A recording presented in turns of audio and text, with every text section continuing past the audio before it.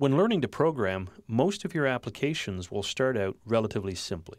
In the case of C Sharp applications, you might just simply have the main function within the program class, and that'll be it. But as you start to progress into more complex applications, you're going to want to take a look at how you can perform a divide and conquer functionality.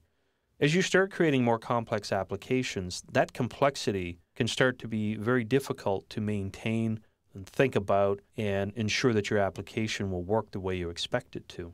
As a result, what you'll want to do is start thinking about how you can break up the application into discrete pieces of functionality.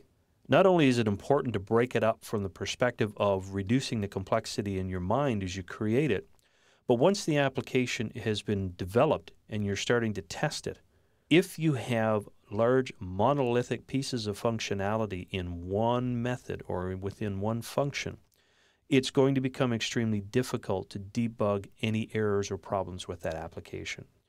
C Sharp has another language element known as functions. Functions allow you to break up your code functionality or your code organization, if you will, into discrete pieces, and this is what functions do. So if we take a look at functions within the C Sharp language, functions are considered to be discrete pieces of functionality within your code.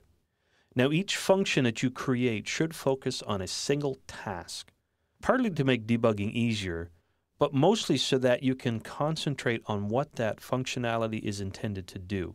As an example, you might create a function that is designed to calculate somebody's age. You might call it calculate age.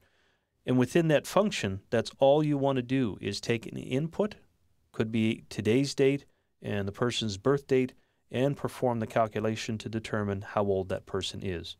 That's all that function should focus on, and that's all that function should do. Functions within C Sharp, like any other programming language, can return values or they cannot return values. And how you work with those specifically will be determined by keywords or specific key phrases. So let's step out to Visual Studio and have a look at how functions are written within C Sharp.